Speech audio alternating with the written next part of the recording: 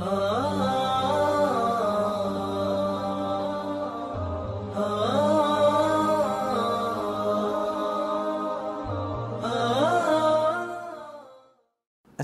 عليكم ورحمة الله وبركاته. بسم الله والحمد لله والصلاة والسلام على حبيبنا وأسوتنا وقدوتنا وشفاعنا رسول الله صلى الله عليه وآله وسلم.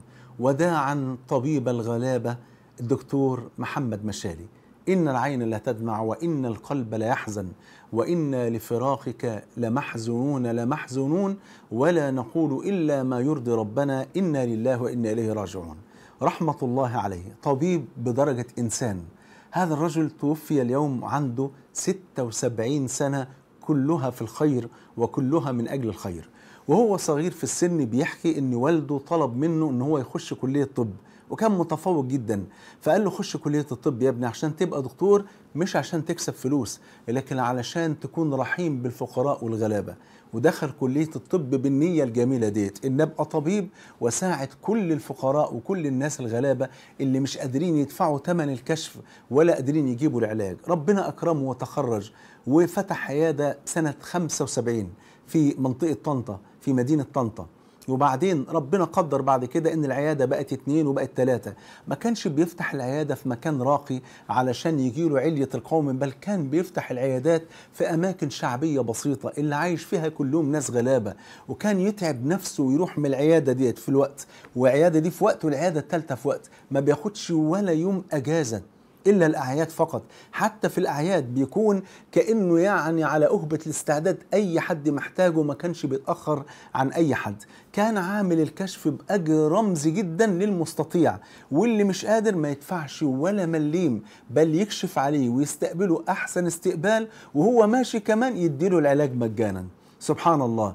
كان بيقول يعني لا ينبغي إن إحنا نتخذ مهنة الطب مهنة من أجل جمع الأموال وإنما لخدمة الفقراء والمساكين والمرضى. عمره في حياته ما اتاخر عن حد ابدا. جاله منح ماديه من بلاد كتيره جدا رفضها كلها. قال أنا أعمل هذا العمل لله لا أريد دنيا ولا أريد شيئا. بشروه بأنهم في طنطا هيطلقوا اسمه على شارع من أكبر شوارع طنطا. قال لهم ولا يهمني أي شيء من هذا التكريم أنا أعمل كل العمل ده من أجل الله سبحانه وتعالى. أنا كالجند المجهول. باللفظ كده بيقول أنا كالجند المجهول.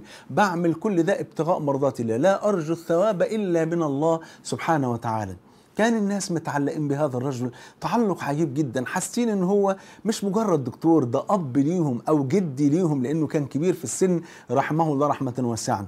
تخيلوا في عز ما كشف كتير من الأطباء ربنا يحفظ الجميع يا رب العالمين كشف كتير من الأطباء أقل كشف 200 جنيه وكشف بعض الدكاترة بيوصل ورب الكعبة الكشف الواحد 1000 جنيه. تخيلوا يا مسلمين إن بعض الأطباء لما تسأله طب ليه حضرتك كشفك ألف جنيه يقول لك هو ده مقامي ودي يعني منزلتي. أقول له نعم منزلتك إن أنت تاخد مش ألف لا ده أنت تستاهل عشر تلاف لكن الناس فقراء. وأحوالهم ما يعني لا تتحمل مثل هذه المبالغ العالية. وقد يكون مريض ومضطر ومحتاج وهكذا. كان الدكتور محمد مشالي رحمه الله رحمة واسعة. كان بياخد الكشف 10 جنيه للمستطيع. ال 10 جنيه دي إيه؟ ده آخر كشف وصل له في عيادته. وإلا فقبل كده كان ب 3 جنيه و2 جنيه وجنيه ونص جنيه وحاجات بسيطة جدا جدا. لكن آخر كشف وصل له كان 10 جنيه. تخيلوا حضراتكم كشف ب 10 جنيه والاستشارة مجانا وفوق ده كله. اللي ما معهوش ما يدفعش بل وياخد العلاج مجاني وهو ماشي من عند هذا الرجل رحمه الله رحمة واسعة. كان بيشتغل في اليوم كام ساعة؟ رغم كبر سنه وانتوا هتشوفوا الصورة موجودة في المقطع دوت. صورة هذا الرجل العظيم رحمه الله رحمة واسعة. كان بيشتغل في اليوم 12 ساعة. والله العظيم لو لو شاب في عز شبابه ما يتحمل إنه يشتغل طبيب 12 ساعة ده كان بيشتغل 12 ساعة. ويا ريت في عيادة واحدة كان بيتنقل بين ثلاث عيادات. لما سألوا المذيع قال له ما بتتعبش من أنت تتنقل ما بين ثلاث عيادات وأنت كبير في السن؟ قال له الحمد لله أنا خفيف الوزن وأتنقل بسهولة الحمد لله والناس المرضى دولت محتاجين إن أنا أروح لهم لحد عندهم. في منهم ناس لا يملكوا حتى ثمن المواصلة إن يجوا لحد عندي وفي ناس غلابة وتعبانين ومش قادرين يتحركوا. أنا اللي أروح لهم لحد عندهم وأنا بتعمد أروح المناطق الشعبية البسيطة لأنها فيها عدد كبير من الفقراء والمرضى والمحتاجين اللي محتاجين واحد زي حالاتي يقف جنبهم وهكذا. عمل هذا الرجل كالجند المجهول رحمه الله رحمة واسعة. قصته بتخليني أقول الدنيا لسه بخير. وعايز أقول لكم إن في أطباء برضه برضه من أهل الخير والله العظيم وأنا قابلت ناس بالمنظر ده. مش لدرجة إن كشفه 10 جنيه لكن أي نعم كشفه 200 و300 و600 لكن لما يلاقي حد محتاج لا يمكن ياخد منه ولا مليم. ولما يلاقي حد فقير ومعدم كان يديله كمان العلاج من عنده. بل أعلم أطباء والله العظيم وقدام عينيا كان لما يلاقي حد مريض وتعبان جدا وفقير أكون أنا في زيارة الطبيب ده لأنه صديقي ألاقيه وبيحاول يداري نفسه لكن طبعا كنت بشوف يعني كان يكشف على المريض دوت وبعدين علشان ما يعرفش حد إنه بيعمل الخير ده ويظهر هذا الخير لا كان يشوف كده لو آثار الفقر باين على وجه هذا الرجل يقول له ده ثمن الكشف اللي أنت دفعته بره وده خليه بيني وبينك ما حدش يعرف وده العلاج بتاع حضرتك. بالله عليك ما حد يعرف. ده حاجة بيني وبينك. سبحانك يا ربي الدنيا لسه فيها خير. وعلى قد كده يعني حتى لو كان في طبيب بيغلي سعره بنقول له دي رسالة من الدكتور محمد المشالي. شوف النهارده يوم وفاته شوف ال ال السوشيال ميديا كلها مقلوبة. دعاء ويعني ولجوء إلى الله سبحانه وتعالى بإن ربنا يرحم هذا الرجل الطيب المبارك. شوف قد إيه الدنيا كلها قلوب الناس كلها تدعي له. أنا بقول يا بختك بجد يا بختك والله العظيم قصته بتخليني أقول الدنيا لسه بخير وقصته بتخليني أنا أقول شخصيا يا ريتني كنت مكانك يا ليتني كنت مكانك. تذكرت قول النبي صلى الله عليه وسلم؟ لا حسد إلا في اثنتين. رجل آتاه الله القرآن فهو يقوم به آناء الليل وآناء النهار فله جار يقول يا ليتني مثله فأفعل مثل ما يفعل. يقول النبي صلى الله عليه وسلم فهما في الأجر سواء. هذا بعمله وهذا بنيته والثاني رجل آتاه الله مالا فهو يتصدق به آناء الليل وآناء النهار فيقول جار له يا ليتني عندي مثل ما عنده فأفعل مثل ما يفعل. قال النبي صلى الله عليه وسلم فهما في الأجر سواء هذا بعملي وهذا بنيتي أنا بقول يا ريت كان عندي من علم الطب ما عند هذا الرجل الطيب المبارك الدكتور محمد مشالي حتى أفعل مثل ما يفعل. وأرجو أن يكون لي مثل الأجر بنيتي مثل ما كان له بعملي هكذا. سيرة طيبة وعمل طيب وبعد العمر الطويل ده كله يموت وعنده 76 سنة. لا كان يهمه دنيا ولا كان يهمه حاجة. ولما حط لكم الصور بتاعته على المقطع بتاعها هتتعجبوا كان راجل بسيط جدا في مظهره لدرجة إن الناس كانت بتنتقده. يا دكتور يعني برضه أنت دكتور كبير ومشهور والدنيا كلها بتحبك. يقول لهم أنا لا يشغلني لا المظاهر ولا يشغلني السيارات ولا البيوت. وحتى عيادته كانت قمة في البساطة. بقول لحضراتكم عرض عليه تجهيز عيادات فخمة جدا مجانا وياخدها هدية. فرفض قال خليني في العيادة البسيطة دي اللي بست بنستقبل فيها الناس الطيبين البسطاء دولت علشان يشعروا إن إحنا كده زينا زي بعض كده ويشعروا بشيء من الأنس ومن الراحة وهم موجودين عندي. سبحان الله. لم يتأخر عن أحد ابدا.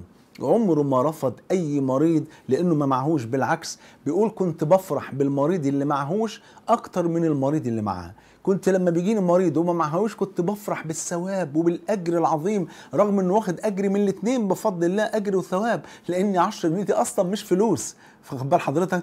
ومع ذلك كان بيعمل كل هذا الخير وكان بينفق على كل أفراد عائلته على أولاده وعلى أولاد إخواته اللي ماتوا وكان يعني رجل خير وكان لا يتأخر عن أي أحد وخرج من الدنيا لا يريد منها شيئا إنما أراد وجه الله فجعل الله له القبول في قلوب المسلمين إن الذين آمنوا وعملوا الصالحات سيجعل لهم الرحمن ودا. الله. والله عز وجل إذا أحب عبدا. نادى يا جبريل إني أحب فلانا فأحبه. فيحبه جبريل عليه السلام. ثم ينادي جبريل في ملائكة السماوات السبع يا ملائكة السماء إن الله يحب فلانا فأحبوه. ثم يوضع له القبول في الأرض.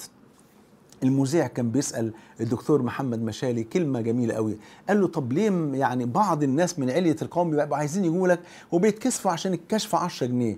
ليه ما تخليش كشف ب 10 جنيه للفقراء وكشف مثلا ب 50 جنيه أو ب 100 جنيه أو 300 جنيه للأغنياء؟ قال له الغني يقدر يروح لحد غيري. يروح لأبو 300 جنيه ما فيش مشكلة. إنما أنا عايز أنا عايز الفقير هو اللي يجيني اللي, اللي أصلا مش لاقي يروح لدكتور تاني وعايزه يجيني عشان هو محتاج إن هو يتعالج. وأنا مش عايز إن أنا أكون سبب لإن أنا يكون فقير محتاج يتعالج أكون سبب إن هو ما يتعالجش. فعشان كده أنا مخلي الأجر كده. أنا إن كان عليا مش عايز حاجة لكن الفلوس ديت لأن في عندي حد شغال في العيادة وفي مية وفي نور وفي ده وفي ده وفي تكاليف معينة وفي العلاج اللي بنعطيه للمرضى وهكذا ولولا ذلك ما أخذت منهم شيئا. شوف قد إيه؟ وهكذا. اذا فدي سيرة طيبة بنقدمها لكل أحبابنا وإخواننا من الأطباء الأفاضل. ربنا يبارك فيهم جميعا. لعل وعسى نجد من يعني يقتدي بهذا الرجل الطيب المبارك دكتور محمد مشالي. ويرحم هؤلاء الناس. ارحموا من في الأرض يرحمكم من في السماء. ارحموا ترحمون. ومن نفس عن مؤمن كربة من كرب الدنيا نفس الله عنه كربة من كرب يوم القيامة. لا أملك في نهاية هذا المقطع إلا أن أقول وداعا طبيب الغلابة دكتور محمد مشالي أسأل الله عز وجل أن يرحمه رحمة واسعة. وأن يجعل قبره روضة من رياض الجنة ولا يجعله حفرة من حفر النيران وأن يرزقه صحبة النبي محمد صلى الله عليه وسلم في الفردوس الأعلى وأن يقر عينيه بالنظر إلى وجه الله جل وعلا في غير ضراء مضرة ولا فتنة مضلة وأن يلحقنا به على خير. اللهم آمين وصلى الله على نبينا محمد وعلى آله وصحبه وسلم. بحبكم في الله والسلام عليكم ورحمة الله وبركاته.